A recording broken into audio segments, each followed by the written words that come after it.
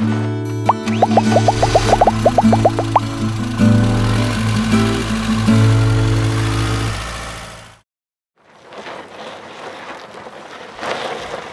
guys, this is Josh with RV Wholesalers, And I'm Blake with RV Wholesalers. and today we're here to talk about the great debate of the differences and the pros and cons of the power and the manual tongue jack.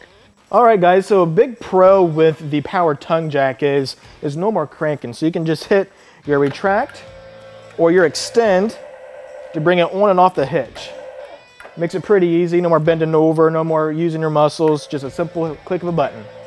A con is if let's say if something happens with it, um, you can rescue it by doing a manual override.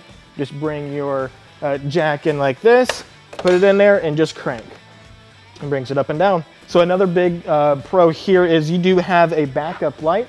So if you do get into a campground uh, later at night, um, you can have it turn the little light on. You can see what you're doing.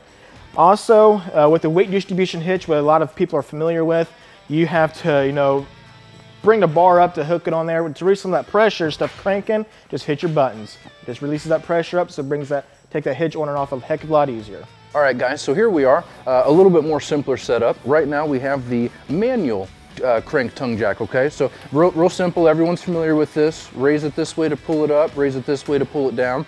Um, plenty of pros, plenty of cons. Uh, I'm sure that people that are familiar with both of them would uh, clearly not consider cranking to be a pro whatsoever, right? But again, still benefits. A lot of people, they might not want to rely on the uh, motor to, to uh, leave them stranded. Uh, though Blake did show you that there is a way to um, save yourself if that does happen. It can still be something in the mindset of someone that just simply doesn't want to deal with those things, and we understand that.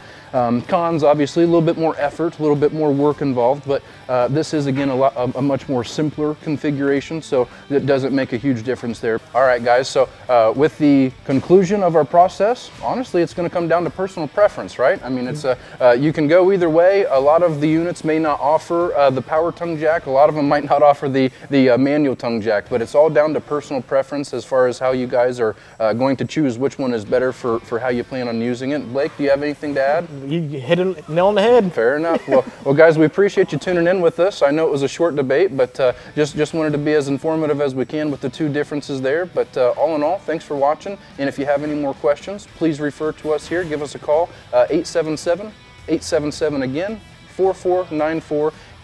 Extension 1000.